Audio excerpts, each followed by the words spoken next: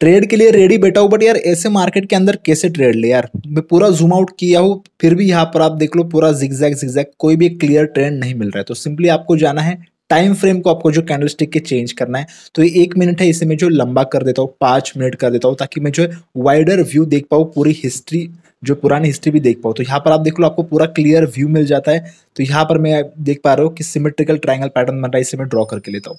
तो गाइज़ यहाँ पर आप देख सकते हो, मैंने इसे ड्रॉ भी करके लिया, सारे पॉइंट्स कनेक्ट हो रहे ब्रेकआउट का वेट कर रहा हूँ। तो गाइज़ देखो ब्रेकआउट हुआ भी बट यार देखो, मैंने फिर भी ट्रेड नहीं लिया बिकॉज़ यहाँ पर जो उसके बाद ब्रेकआउट के बाद इंस्टेंट एक सपोर्ट था हॉरिजॉन्टल लाइन का तो मैंने नोटिस किया यार तो इसलिए मैं वेट कर रहा हूँ, शायद बाउंस बैक हो सकता है। एंड गाइस यहाँ पर आप देख लो बाउंस बैक भी किया back to back green candle उसके बाद फिर से ट्रायंगल के अंदर चला गया, काफ़ी सारे दो जी पैटर्न बने, ऊपर से ब्रेकआउट भी नहीं किया। अब जो कोई एक कैंडल पाँच मिनट का है, मैं काफ़ी टाइम से वेट करो अगर नीचे से ब्रेकआउट देगा, फिर भी मतलब कोई मतलब नहीं, काफ़ी टाइम से वेट करो फिर से सपोर्ट लेगा तो मैं इसमें जो ट्रेड लेना अवॉइड कर रहा हूँ।